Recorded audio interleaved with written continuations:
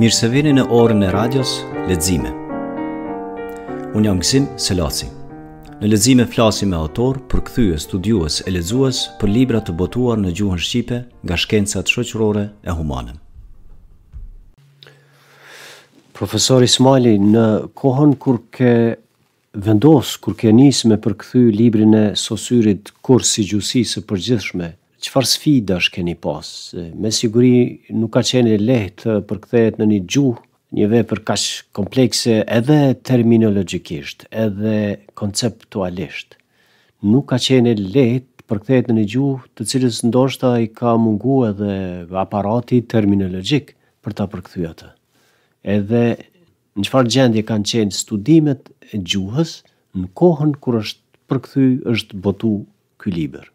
Po, problemi unë kam nis të merrem me leximet e Sosyrit edhe të sosyrianizmit, të strukturalizmit, kam nis të merrem 1970-ën, 71-shin.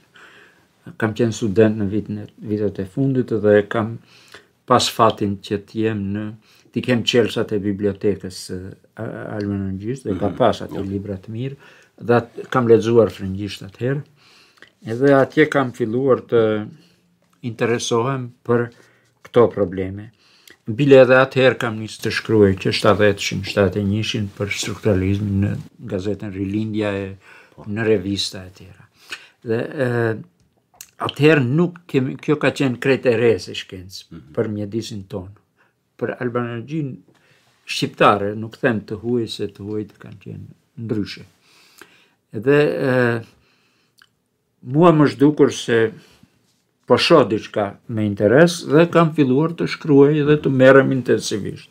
Pastaj shkova në Francë, Më së pari kam bërë një tjetër përkthim, e kam bërë përkthimin e veprës së Andre Martinesë, një strukturalist shumë i shquar i viteve gjashtëdhjetë, shtatëdhjetë, tetëdhjetë edhe sot në Francë edhe kam studiuar tek ai, librin Hyrja në gjuhësi të përgjithshme, elementet e gjuhësisë së përgjithshme që e kam përdorë për studentët, studentët e mi prej atij kanë mësuar. Dhe pastaj më lindi ideja që të bëja një bibliotekë të studimeve moderne të gjuhësisë, hyra e përktheva Sosyrin dhe pastaj te Rilindja kishte mirëkuptim, e përktheu Murat Bejta Trubeckojn, mhm. parimet e fonologjisë, Vesel Nuhiu Eduard Sapirin, Unë e përktheva fjalorin enciklopedik të të termave të ligjërimit Dykro-Todorov, përktheva Rolan Bartin, domethënë kishim ambicie të bënim një bibliotekë, rrethanat, koha e shkurt nuk na lejuan ta bëjmë të plotë, por edhe ashtu si u bë, është e vetmja që kemi. Terminologjia ka qenë problem i madh, jo i vogël, unë jam përpjekur të përshtat, kur s'kam mundur të përshtat, kam marrë termat ndërkombëtarë. Po. Po supozoj ke qenë i pari që i ke për pru në Shqipe dhe është etablu si i tillë termin shënjues i shënjuar, apo jo? Po, A është po, përdorë po, më përpara po, po, në gjuhën po. Shqipe kështu? Po, po, në këtë kuptim të gjuhësisë, po. Mhm. Gjithë ata terma që janë te Sosyri, unë i kam përdorë praktikisht për herë të parë, s'kam pas eh, në një traditë, se ajo traditë e të menduarit nuk ka qenë e pranishme në opinion te ne. Po. Edhe atëherë filloi studimi në shkallën e tretë, studentët brezi i atëhershëm i parë ishin më të vjetër se unë bile, edhe ata nuk pajtoheshin që t'ju jepja Sosyrin se disa asyresh më thoshin s'po e kuptojmë dhe ishte normale kjo, nuk ishte, sepse nuk ishin nuk ishin marrë formim në atë drejtim, Po termat unë jam përpjekur t'i bëj sa më shqip qysh te Martine, botimin e parë të librit të Martinesë e kam bërë ma shumë si përshtatje edhe shembujt e analizës fonologjike i kam të fonologjisë së shqipes, i kam përshtatur dhe profesori im është pajtuar e ka ditë, është pajtuar, pastaj kam bërë një botim tjetër të fundit ku i kam heq përshtatjet dhe i kam lënë sepse u krijua një traditë, njerëzit i kam lënë shembujt francezë ose tjetër çfarë i ka ai. Është interesant edhe kjo, profesor, thatë që ka pas një farë ngurrimi ose refuzimi edhe nga ana e studentave për ta lexu për arsye se ka qenë diçka e re po. e pakuptueshme. Pra, juve Dhe kolegëve tu që kanë bo të njëjtën punë, pak a shumë, ju ka ra barra edhe e jo vetëm e sjelljes në Shqip të këtyre autorëve, por edhe krijimit të lexuesit shqiptar. Pra është dashtë edhe me kriju lexuesin për këta për këta autorë, për këta libra në Shqip. Po, ju po. e keni pas po më merr mendja universitetin si një platformë, si një mundësi ku i keni kriju lexuesit e këtyre. Po jo vetëm universitetin, atëherë ka pas Kosova një në vite 70-80, ka pas një tjetër vizion pune, ka pas një elan emancipues në shoqëri përgjithësisht dhe profesorët, mësuesit, të gjithë janë parë si njerëz që është dashur të ndihmojnë në emancipimin e atyre me të cilët merren, nxënësve, studentëve dhe të popullatës. Edhe kjo ka qenë si, si një lloj misioni edhe te mësusit e fillores, jo veç te profesorët e universitetit. Edhe në, natyrisht unë jam detyruar sepse kam sjell një materie e cila nuk ishte mësuar deri atëherë në Këto ishte gjuhësi tradicionale, shumë tradicionale, edhe edhe në Francë janë këto probleme, edhe kudo, edhe natyrisht që duhej të jepeshin shpjegime plotësuese në mënyrë që njerëzit ta kuptonin se suksesi i një pune është aty kur e kuptojnë tjerët, nëse s'e kuptojnë nuk ka kuptim masandej, natyrisht që ka qenë e nevojshme të bëjmë edhe shkrime popullarizuese. Në gazetën Rilindja, ajo të shtunën i kishte faqet e kulturës, shumë shpesh kam shkruar që në vitet shtatëdhjetë e një, shtatëdhjetë e dy, kam shkruar artikuj edhe për këto probleme, edhe për gjuhësinë strukturale, edhe për Sosyrin, edhe për Hjelmslevin, edhe për Martinenë, edhe më vonë ndoshta edhe për Çomskin ndonjëherë. Sepse e kemi konsideruar, Rilindja ishte, Rilindja lexohej, e shtuna lexohej shumë, edhe kishte një përhapje më të madhe, sigurisht që njerëzit, lexuesit e Rilindjes nuk ishin të obliguar ta kuptojnë ç'është gjuhësia, është diçka tjetër, por në këtë mënyrë përhapeshin… përhapeshin disa ide dhe disa koncepte unë mendoj që ka qenë e dobishme. Po, përveç të përditshmes Rilindja, pra ju keni botu, ku keni diskutu këto çështje të gjuhësisë moderne e tjere, edhe në revistat, periodik të specializum, siç është kjo Studia Humanistika që ka dalë disa numra nëse nuk gaboj, ndoshta edhe te periodiku Thema, Ka pas edhe tjera? Tema ma vonë pak, por Buletini i Fakultetit Filozofik, që është më i hershëm, pastaj u bë edhe Studia Humanistika, nja dy tre numra, edhe atje kam shkruar edhe te Përparimi edhe, domethënë në revistat që kemi pasur në dispozicion, Këto që kishin se Gjurmime albanologjike botonte vetëm edhe sot ashtu është gjuhësi që merret me gjuhën shqipe dhe atje natyrisht që edhe atje unë kam botuar artikuj ku në mënyrë strukturale janë trajtuar problemet, por atje nuk trajtohen problemet teorike, atje trajtohen po, Problemet që kanë të bëjnë me gjuhën mm. shqipe dhe është normale. Ndërkaq në këto revista tjera, si përparimi, si studia humanistika, si buletini, si më vonë tema, këtu mund të trajtoheshin po. probleme tjera dhe te tema kam një specifik, derisa këto të më hershmet janë thjesht me strukturalizmin vitet e vona shtadhjetë, tetëdhjetë e këtej, na sollën në një horizont tjetër se kishte shoqëria kishte rrezikimet e veta, lëvizje të tjera, edhe unë kalova te orientimi për trajtimet sociolinguistike dhe atje kam shkruar për gjuhën shqipe po në raport me realitetet sociolinguistike duke respektuar teoritë sociolinguistike moderne që kanë dalë edhe pjesërisht edhe nga Sosyri ose që e kanë parasysh atë traditë.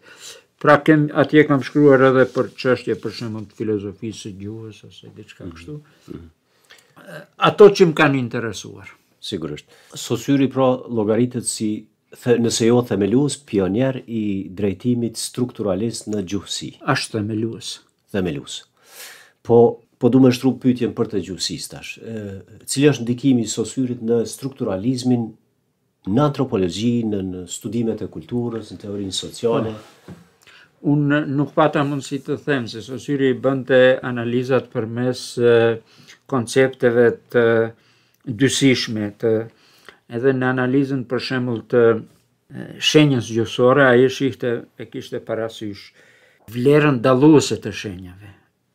Është pjesa tjetër është dalluese pra kundërvënëse. Shenjat jetojnë në të njëjtën kohë, por mm. njëna me tjetrën kanë raporte diferencimi. Kundërvënie, jo kontrast, po kundërvënie, domethënë opozite, opozicion.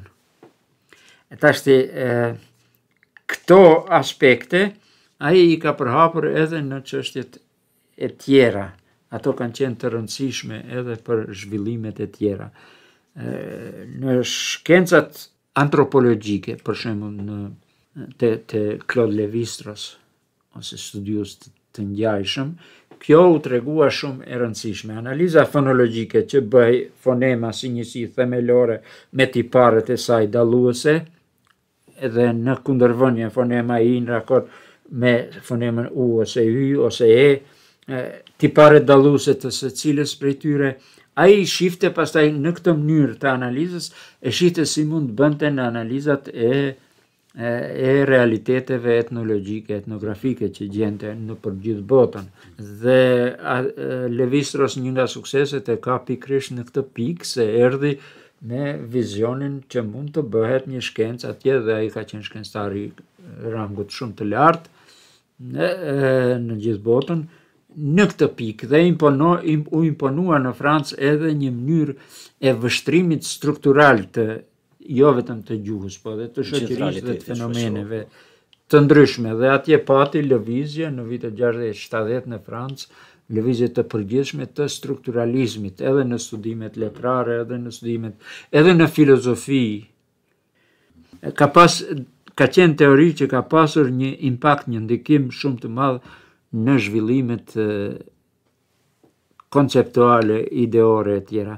Tashti është teori që është historike se zhvillimet kanë qenë mbas viteve 60-70 shumë të gjera edhe në gjuhësi, kanë shkuar në drejtime të ndryshme, filozofia e gjuhës, sociolinguistika, psikolinguistika, etnolinguistika, disiplina të tjera janë futur dhe kanë...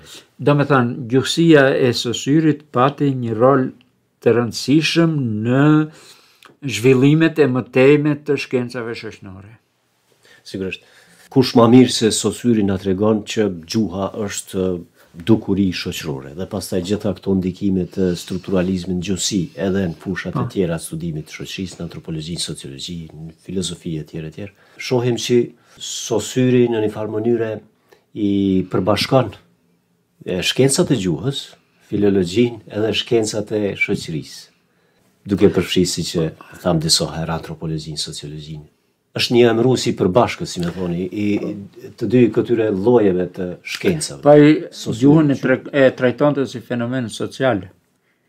Esenca e gjuhës është fenomen social, komunikim midis njerëzve. Problemi kryesor është komunikimi dhe komunikimi nuk mund të jetë individual, por duhet të jetë patjetër një folës dhe një bashkëfolës. Pa këtë një bashkësi, pa këtë nuk ekziston gjuha. Dhe tashti Kjo ka implikime të tjera. Ai në të njëjtën kohë përpiqej të ndërtonte një shkencë që ta trajtojë këtë fenomen më vete dhe për vete gjuhën, duke lënë anash të folurit, duke lënë anash ligjërimin si etj. Që të mund të krijonte një status të mirëfilltë shkencor për gjuhën. Dhe natyrisht pak vjet kanë qenë ato dhe pastaj Kjo të të tjerat u lexua ashtu që të shihen edhe fenomenet përreth psiko, socio e tjera. Dhe nuk është e rastit që sociolingvistika që lindi në vitet që u zhvillua në vitet 60, 70 e këtej, që krijoi një ambicie tjetër, sociolingvistika e sotme mendon që ajo është e tërë lingvistika, jo socio, po është lingvistika, se është shkencë shoqënore. Domethënë, ka zhvillime që çojnë në drejtime të ndryshme në këto raporte. Sigurisht që ka pas edhe në fushat e tjera, në psikolingvistikë sidomos, në filozofinë e gjuhës, ka shkolla e Oksfordit dhe filozofia e gjuhës së zakonshme ka marrë e dhënë shumë me gjuhësinë strukturale dhe ka në në zhvillimet edhe te Chomsky ka një te Chomsky ka një vijë filiacion tjetër, ai shkon te Descartes dhe te racionalizmi e tjera shekullit tetëmbëdhjetë, shtatëmbëdhjetë, tetëmbëdhjetë, por uh, se shiko, problemet janë pak më të mëdha. A do të trajtohet gjuha si diçka e lindur apo si e nxënë. Mm -hmm.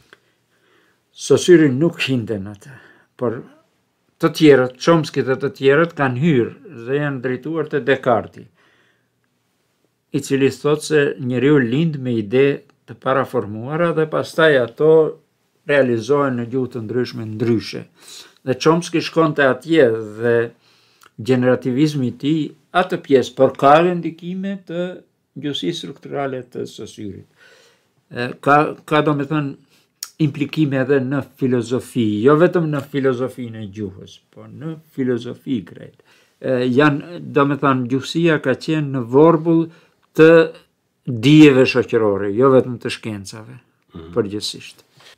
Kaq i madh ka qenë ndikimi i kësaj ideje për gjuhën si konstrukt shoqëror, saqë në shkencat shoqërore është një paradigmë kthesë e analizës shkencore që quhet kthesa gjuhësore, linguistic turn, kthesa gjuhësore, pra kthimi i vëmendjes së shkencave të shoqërisë në rëndësinë e gjuhës Pra jo vetëm komunikim, po në krijimin, konstruktimin e realitetit shoqëror. Sot kur duket që ka një tendencë që shkencat kështu të të ndahen, të atomizohen për arsye burokratike. Për shembull, nuk e kemi bashkë studimet e filologjisë me me studimet e shoqërisë, nuk i kemi bashkë pastaj as studimet e shoqërisë brenda një departamenti, po janë kështu të atomizume. A shihni ndonjë mundësi ose a shihni në radhë të parë të nevojshme që jo të integrohen ndoshta plotësisht, po të gjejnë këto të përbashkëtat? Edhe shkencat e gjuhës, edhe shkencat e shoqërisë, duke përfshirë shkencat humane, filozofinë. Shpjegimet në jetën njerëzore nuk janë të thjeshta. Ajo që ka bërë Sosyri me reduktimin me reduktimin konceptual është një çështje që është e domosdoshme. Mm -hmm. Unë ju thashë për diakroninë, sinkroninë. Ne e dimë që por prerja nuk është diçka që na ndihmon Sosyri i prente. Por erdhën pastaj Martine, edhe Jakobsoni, edhe erdhën më vonë që këtë prerjen e konsideronin si domosdo teorike, por jo si realitet, se në realitet sinkronia me diakroninë bashkëjetojnë, se po. na derisa flasim tash, unë kam shenja të viteve 70 për shembull ose terma të viteve 70 që sot nuk përdoren ashtu, por bashkëjetojnë. Mm -hmm. Domethënë ka ka ndërthurje, prandaj Fenomeni i gjuhës është shumë i përgjithshëm, fenomeni i ligjërimit njerëzor përfshin krejt botën njerëzore dhe aty përfshihet shoqëria dhe përfshihet mënyra e të mendumit, përfshihet aspekti psikologjik, përfshihet etnografia, përfshihet raporti midis njerëzve, është i domosdoshëm, gjuha nuk ekziston pa shoqëri. Shoqëria është ajo që e krijon, të gjitha këto kërkojnë nga gjuhëtarët që të kenë një një bashkëveprim dhe një të kuptuar të fenomeneve të tjera, vetë Sosyri ka qenë në në si të themi kontakt dhe i ka lexuar sociologët e kohës shumë mirë. Edhe psikologët. Dyrkemin dhe qënë ti. Dyrkemin e ka pas dikotomitë e tij, gjuhë të folur e tjera, një farë mënyre kanë një paralel edhe te Dyrkemi. Mm -hmm. Edhe Tardin, psikologun Tard, e ka lexuar dhe i ka, domethanë, mendohet se ka pas edhe një ndikim prej tyre. Për fund, kisha dasht me iu kthy edhe një herë temës së parë, dhe më duket që është më thelbësorja te teoria e Sosyrit, dallimi midis shenjuesit dhe të shenjuarit. Ky pra, thotë që shenjuesi është imazhi akustik, akustik, ndërsa i shenjuari është koncepti që po, kemi, po. pra nuk është vetë gjëja, vetë sendi ose objekti, po koncepti që kemi për, për gjënë. Po. Është e kollajshme me thanë kështu, por më duket implikimet e kësaj në të kuptuarit tonë se si e njohin botën janë shumë më të thella. Pra po. ne kemi fjalë jo për vetë objektet e botës, po kemi fjalë për konceptet tona mbi ato objekte të botës. Po, po realiteti është një gjë dhe konceptet tona janë një gjë tjetër në çdo kohë. Dhe Sosyri këtë e kishte shumë shumë të qartë dhe ai donte ta shpjegonte ta shpjegonte pikërisht funksionimin e gjuhës duke u nisur nga këto. Ai ishte i pakënaqur, prandaj s'ka shkruar libër. Ai mendonte se asgjë s'është e përsosur në dijen që kemi po. dhe prandaj ka vetëm shënime që i ka mbajtur në ligjërata, të tjerët pastaj i kanë botuar. Mm. Por nuk i ka parë si përfundimtare asnjërën prej tyre se ishte proces hulumtimi ai. Mm. Dhe e, raporti midis shenjës gjuhësore dhe koncepteve është pikërisht ky arbitraritet midis shenjuesit dhe të shenjuarit. Mhm. Dhe na i përdorim ato shenja, pra ato koncepte i lidhim me një element tjetër dhe pastaj duke i ndërlidhur në sistemin, në strukturën e gjuhës, këto elemente ne komunikojmë. ndryshe nuk mund na nuk mund të komunikojmë nëse është kali vrapon, unë nuk mund ta ta nxjerr kalin që vrapon, po e nxjerr konceptin për kalin dhe vrapon. Mm -hmm. Edhe vrapon natyrisht është abstrakte dhe ashtu. Pra ka një natyrë abstrakte në këtë, por abstraksioni është ai që na ndihmon ta shpjegojmë fenomenin. Mm -hmm. Për këtë arsye ka shumë rëndësi kjo dhe Sosyri mendohet si themeluesi i semiologjisë, edhe pse semiologjia në atë kohë s'ka ekzistuar. Në të vërtetë ka këto probleme janë trajtuar në psikologji. Sosyri ka i ka ndarë nga psikologjia, i ka sjellë në një ambient tjetër me teorinë e shenjës dhe pastaj u themelua semiologjia në vitet 70 pati semiologjia e filmit, semiologjia, nuk e di, plot semiologji të ndryshme, semiotika më vonë se u shartua me konceptin amerikan për shenjën, u bënë zhvillime të tjera, tashti bota ka kaq shumë qendra zhvillimi sa nganjëherë është vështirë të ndiqen. Po, po. Profesor, pra vetëm atëherë kur Sosyri bën dallimin midis parol të folurit konkret të një njeriu njërën anë dhe lang sistemi gjuhësor në anën tjetër, vetëm atëherë mund të themelohej gjuhësia moderne, duke qenë se tani gjuhësia ka një objekt abstrakt studimi, domethënë gjuhën si sistem, e jo të folurit konkret. Në këtë kuptim, a mund të thuhet se Sosyri është themelues i një shkence të mirëfilltë të gjuhës?